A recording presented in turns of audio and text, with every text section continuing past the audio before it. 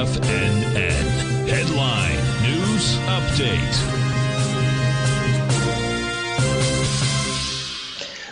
Okay, folks, Larry Pesavento for TFNN. A lot of a lot of things happening in the markets today. If I could only figure out how to use my charts here, I would get them up here.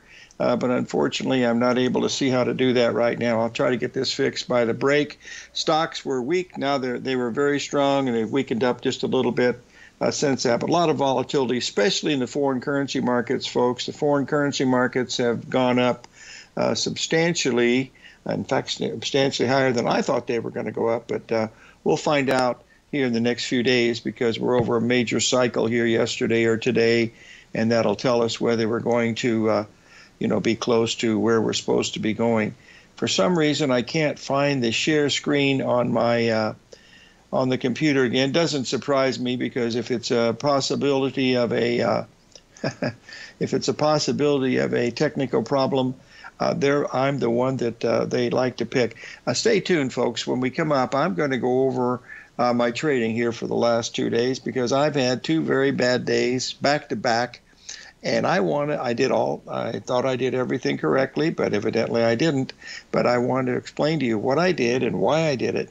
So that you realize that when I give you these trades, that sometimes I don't do the right thing.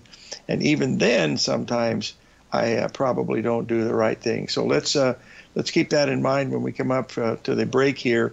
We're going to go over some of these things, but I believe we're over a major major spot here uh, in the thing. But I'm I'm having a real different. Oh, here we finally got to the share screen part. Bear with me here a second. Here, get the screens up, and then hopefully we'll be able to go live, and then I'll get my charts up. We'll start out here with the British pound. We're up here at the 61% retracement.